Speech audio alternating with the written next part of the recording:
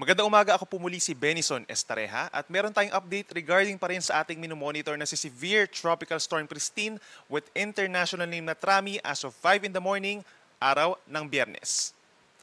Nasa West Philippines na po itong si Bagyong Christine at huling namataan 125 kilometers kanluran, hilagang kanluran ng La Union. Taglay ang maximum sustained winds pa rin na 95 kilometers per hour malapit sa kanyang sentro at may gustiness hanggang 115 kilometers per hour. Bahagyang bumibilis po ang bagyo palayo ng ating kalupaan, 25 kilometers per hour ang bilis west-northwest kita sa ating latest satellite animation, itong makakapal po na ulap associated pa rin po dito kay Bagyong Christine, lalo na sa may western sections ng Luzon. Habang asahan pa rin po yung mga kalat-kalat na ulan sa natitirang bahagi ng Luzon and Visayas. Ito po yung latest track regarding kay Bagyong Christine. Inaasahan nga po nakikilos pa rin palayo ng ating kalupaan sa susunod na 12 oras at posibleng lumabas ng Philippine Area of Responsibility mamayang hapon na. However, knowing po na ito ay malapit pa rin sa ating kalupaan at malawak po na bagyo itong si Bagyong Christine, around 700 to 750 kilometers po yung kanyang radius at yung lawak nasa 1,400 kilometers. Posibleng magkaroon pa rin tayo ng mga wind signals at masakop pa rin po ang malaking bahagi pa ng Luzon sa mga susunod po ng mga bulletins natin. Inaasahan na magiging severe tropical storm pa rin po habang lumalayo sa ating kalupaan. Subalit base sa ating pinakahuling track, ay posibleng bumagal ito pagsapit po ng Sunday and Monday. Then pagsapit ng Monday, habang nandun sa may east ng Central Vietnam, ay lilisan direksyon magkakaroon ng looping pabalik sa ating kalupaan sa direksyon po ng Luzon at hindi pa rin natin nire-rule out na ito ay magpapasok muli sa ating Philippine Area of Responsibility. Inaasahan nga po na magiging severe tropical storm ito habang ito ay nasa may karagatan at yung pagpihit nitong uh, si Bagyong Christine ay impluensya ng isa pang bagyo na nasa lapas po ng ating par. As of 4 in the morning naman, yung ating tropical depression na minomonitor sa silangan po ng Mindanao ay nasa layo ng 2,440 kilometers silangan ng Eastern Visayas. As of 4 in the morning po yan, taglay ang hangin na 55 kilometers per hour at may bugso na 70 kilometers per hour. Yun namang low pressure area sa hilaga nito ay nasa higit 2,500 kilometers silangan po ng Visayas. And eventually po dahil ito ay mababa ang chance na maging isang bagyo ay posibleng maging trough na lamang or parte nitong tropical depression. Inaasahan naman po simula po ngayon hanggang sa weekend ay kikilos na unti-unti palapit sa ating kalupaan at unti-unting lalakas itong tropical depression. Nakikita natin based sa ating latest Tropical Cyclone Threat Potential Forecast, maring pagsabit po ng linggo ay pumasok ng Philippine Area of Responsibility itong nasabing tropical depression at kung sakasakali man nga na mananatili as a bagyo ay tatawagin po natin ito na bagyong Leon. Maring by, by then tropical storm or severe tropical storm na po ito at inaasang kikilos pa west-northwest or paangat ng pakaliwa. So pagsapit po early next week, nasa may hilagang parte na po ito ng Philippine Sea. Simula naman po sa Miyerkules next week hanggang sa weekend, ay babagal ang pagkilos ito habang nasa may silangan po ng extreme northern Luzon. Bagyang magre-recurve, paakyat po dito sa may silangan bahagi po ng Taiwan at marin lumabas ng Philippine Area of Responsibility sa end pa ng first week of November po yan. Nakikita natin by this time, malaki nga yung impluensya nung pagbalik or pagloop nitong si Bagyong Christine sa paglapit nitong uh, bagyong tatawagin natin na Leon. So kapag umabot sa less than 1,400 kilometers yung layo ng dalawang bagyo at mananatili pa rin silang malakas as a tropical storm minimum, then maring magkaroon po tayong tinatawag na Fujiwara effect o yung interaksyon ng paghatak ng dalawang bagyo sa isa't isa. Kaya naman po posible magkaroon ng mga pag-ikot or pagpihit po ng movement nitong dalawang bagyo. Pero hindi naman po ito magtatagal at eventually po lalayo na rin sa ating kalupaan. Itong uh, si bagyong tatawagin nating Leon at hihina na rin si bagyong Christine by first week of November. Sa ngayon po, dahil kay Bagyong Christine, meron pa rin tayong nakataas na tropical cyclone wind signals number 2 and number 1 sa malaking bahagi ng Luzon and Visayas. Asahan natin ang signal number 2 or yung hanggang 95 or 88 kilometers per hour po na lakas ng hangin sa Cagayan, Isabela, Quirino, Nueva Vizcaya, Apayao, Kalinga, Abra, Ifugao, Mountain Province, and Benguet. Signal number 2 rin po sa Ilocos Norte, Ilocos Sur, La Union, Pangasinan, Aurora, and Nueva Ecija. Signal number 2 rin po ang aasahan natin yung mga may kalakasang hangin pa rin sa Tarlac, Zambales, Bataan, gayon din sa Pampanga, Bulacan, Metro Manila, signal number 2, signal number 2 pa rin po ngayong umaga, gayon din sa hilagang bahagi ng Cavite, hilagang bahagi ng Rizal, at General Nakar sa Quezon Province.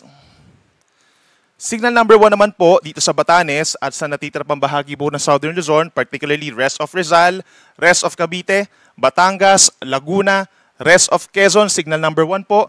Sa Occidental Mindoro, Oriental Mindoro, Marinduque, Romblon, hilagang bahagi ng mainland Palawan, kabilang ng mga isla ng Kalamian, Cuyo, and Kalayaan Islands. At signal number 1 din po dito sa Camarines Norte pa rin, Camarines Sur, Catanduanes, Albay, Hilaga at central na bahagi po ng Sorsogon. Gayun din sa northern and central portions of Masbate, kabilang ng Burias and Ticao Islands. Signal number 1 din sa Aklan, Capiz, Antique, and northwestern portion of Iloilo. Yung ilang bahagi na po ng Negros Island plus Iloilo, tinanggal na rin po natin yung ating signal number 1 and eventually po sa mga susunod po na bulletins natin, magbabawas pa tayo ng mga signal number 1 sa may Southern Luzon and Visayas at posible mag-downgrade tayo sa may Central and Southern Luzon ng mga signal number 2 becoming signal number 1 po sa mga susunod po natin ng mga bulletins habang lumalayo sa kalupaan itong bagyong Christine. Ito naman po yung ating mga lugar na makakaranas ng heavy rainfall sa susunod na 24 oras. Kung mapapansin po nila, nabawasan yung mga magiging pag-ulan at yung mga lugar na magkakaroon ng mga pag-ulan. Asahan yung moderate to heavy rains pa rin naman po dito sa May La Union, Pangasinan, Benguet, Tarlac, Pampanga, Zambales, and Bataan. Sa natitirang bahagi naman po ng Luzon, kabilang ang Metro Manila, gayon din sa natitirang bahagi ng Visayas, asahan pa rin po yung kalat-kalat na ulan and thunderstorms ngayong umaga.